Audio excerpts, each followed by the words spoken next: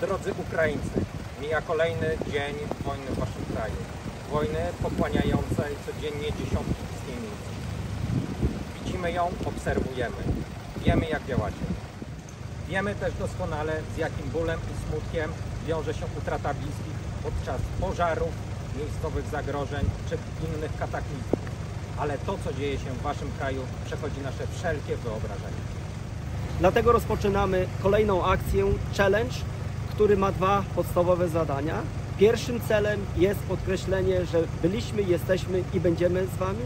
E, Po drugie, chcielibyśmy e, podkreślić, że istnieje możliwość dokonywania dobrowolnych wpłat na specjalnie stworzone konto Państwowej Służby Ukrainy do spraw sytuacji nadzwyczajnych, czyli odpowiednika naszej Państwowej Straży Pożarnej. Dodatkowe informacje możemy znaleźć na stronach internetowych Komendy Głównej i innych jednostek e, Państwowej Straży Pożarnej.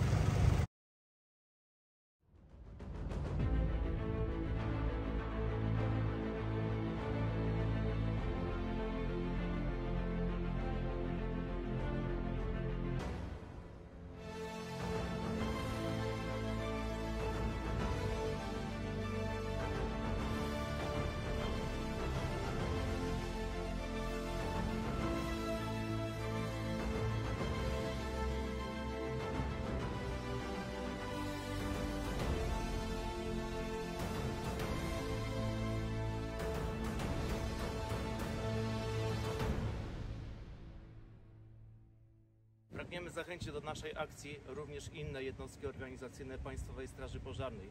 Dlatego nominujemy Szkołę Główną Służby Pożarniczej, Komendę Wojewódzką Państwowej Straży Pożarnej w Gdańsku, Komendę Powiatową Państwowej Straży Pożarnej w Kluczborku. Mając na względzie, że zawsze ramię w ramię idziemy w bój z ochotniczymi strażami pożarnymi, nominujemy OSP Stare Babice, Gmina Stare Babice, OSP Broszków, Gmina Kotuń i OSP Nagórzanych, Gmina Bukowsko. Niech żyje wolna Polska, niech żyje wolna Ukraina.